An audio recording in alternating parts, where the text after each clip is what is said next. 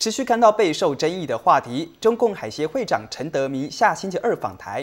不过，因为台湾立法院正在办理服贸公听会，陈德明选在这个时间来台，是不是为服贸施压，引发关注？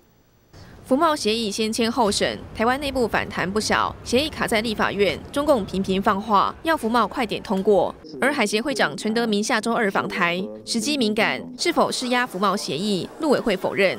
呃，我想立法院在进行服贸协议的审议，都有按照进度在进行这个相关的行程。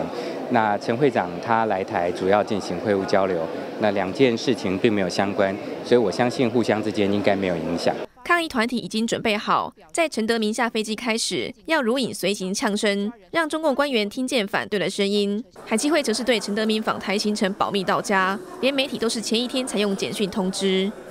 我们都都要公开说明了。可详细的行程、时间、地点都还没有，要前一天晚上才会公示。那那那不是那一部分，那详细的那几点几分几点的，那当然还要在最后做确认嘛。陈德明访台，北中南走透透，预计会见郝龙斌、朱立伦和胡志强等地方首长，并且考察航空城与海港，为两岸自由贸易区结合做宣传。新唐里的电视，沈威彤、刘姿莹，台湾台北报道。